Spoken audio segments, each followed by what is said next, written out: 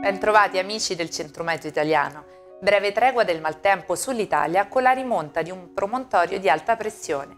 Vediamo quindi nel dettaglio le previsioni per giovedì 29 novembre.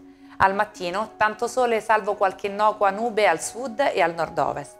Al pomeriggio ancora tempo asciutto con cieli sereni o poco nuvolosi in Italia. Maggiori addensamenti solo sulle regioni settentrionali.